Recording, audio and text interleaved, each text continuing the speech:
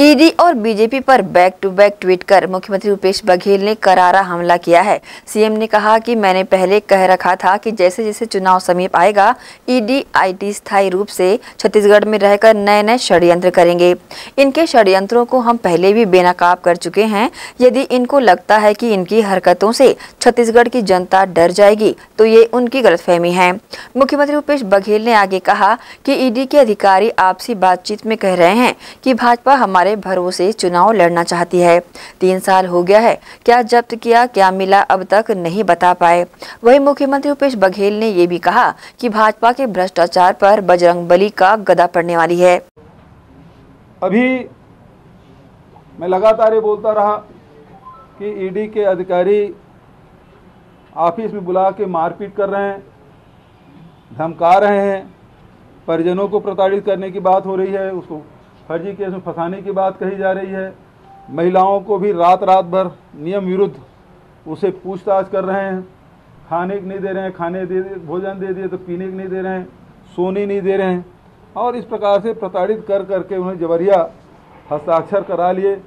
Press उसके आ, जो note है वो पहले से टाइप होकर आता है और उसमें हस्ताक्षर करने के लिए कहते हैं।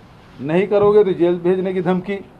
नहीं तो तुम्हारे परिवार के लोगों को प्रताड़ित करेंगे, फर्जी केस में फंसा देंगे, इस प्रकार की धमकी दे दे के उन्होंने ये हस्ताक्षर कराए और ये तीन साल के अवधि बीत जाने के बाद भी कोयला में 500 करोड़ के बोले, इसमें 2000 करोड़ बोल रहे हैं, लेकिन कोई चला चल संपत्ति जब्त किया आपने?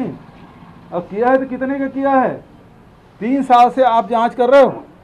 आईटी और ईडी यहाँ लगे हुए हैं। चल अचल संपत्ति कहाँ जाएगा? क्यों जब्त नहीं किए? वो कितनी राशि है?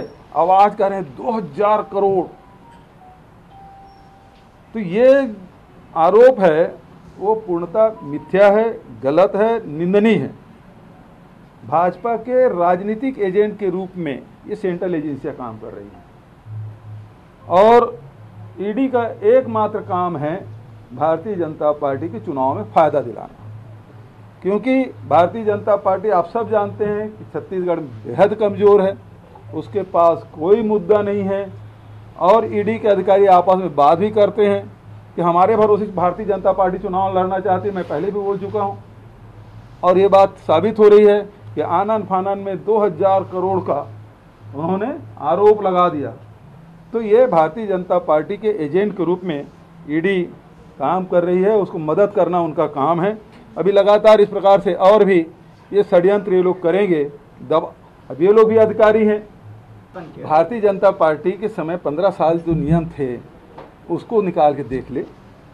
और हमारे शासनकाल में जो नियम निकले हैं आवेदन के उसको देख ले। उसमें तो व्यक्तिगत रूप से जाकर जनपद कार्यालय में उपस्थित होना पड़ता था। यहाँ तो ऑनलाइन आप भर भर रहे हैं।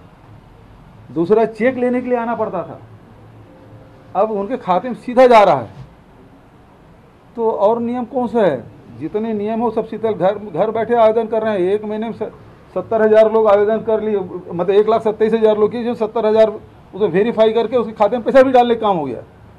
तो ये इनके पास कोई काम ही नहीं ना। इन पे गौ माता के नाम से वोट मांगते रहे, गौ माता की सेवा नहीं किए। छत्तीसगढ़ पंद्रह साल सरकार में रहे रामोहन गमन पर्यटन पर पत्नी बनाए।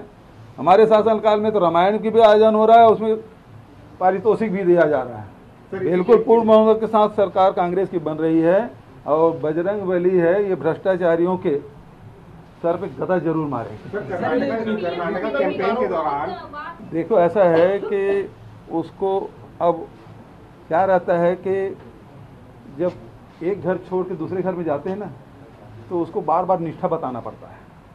तो वो भारतीय जनता पार्टी में गए, कांग्रेस छोड़ के तो उसको बार बार निष्ठा बताना पड़ रहा है। तो निष्ठा बताने के लिए सबसे ज़्यादा क्या है कि सोनिया जी या राहुल जी के बारे में अनर्गल प्रलाप करो, ताकि उसके आँखें खुश रहे। जिस दिन वो बोलना बंद कर देंगे, उसकी कुर्सी छीन जाएगी।